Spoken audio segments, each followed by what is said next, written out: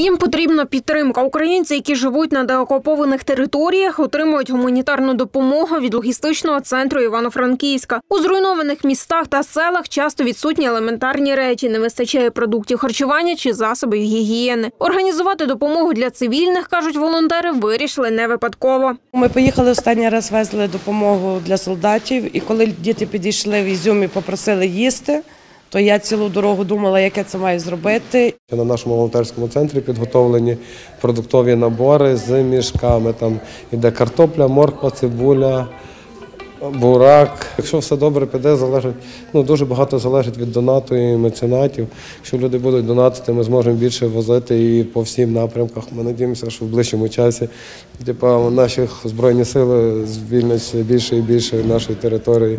І просто в певні моменти, щоб допомогти людям перебороти, стати на ноги і відбудувати їхні міста, житло.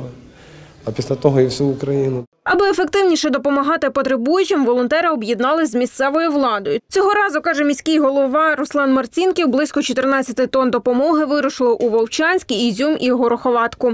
Понад три тисячі допомог завдяки нашим міжнародним партнерам і спільний проект Івано-Франківської міської ради спілки волонтерів Прикарпаття сьогодні їде до е, Харківської області, до деокупованих територій. Це Ізюмщина, це Вовча- Вовчанщина, там, де будуть роздаватися. Я вважаю, що це дуже важливо, щоб звідси ця допомога е, досталася цивільному населенню, і що ми підтримуємо людей, які сьогодні без світла, без газу, без електрики, е, без е, найнеобхіднішого продуктів і е, певних медикаментів. Відправляє допомогу на схід у рамках проєкту Чужих людей немає. Долучився до нього і міжнародний благодійний фонд Україна відкрите серце. До повномасштабного вторгнення вони працювали у Бучі, а потім їм довелось побачити усі жахи війни. Тож не зі слів знають, чого бракує людям там. Коли 14 днів ми були під фашистами, ми переїхали в Івано-Франківськ.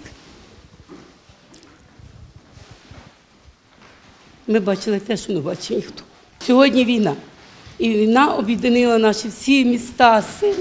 Ми стали з вами сильними. І на сьогоднішній день, кожен тиждень від нас відходять десятки машин. Ми тільки вернулися з Миколаєва, це тисячу пакетів. Ми зараз збираємося на Лиман, в Херсон, Миколаїв. Це все наші міста. Благодійники намагаються забезпечити гуманітарною допомогою усі деокуповані населені пункти. Тож такі відправки кажуть, планують зробити регулярними щонайменше раз на місяць. Люся Грибик, Ігор Попик, телеканал 402.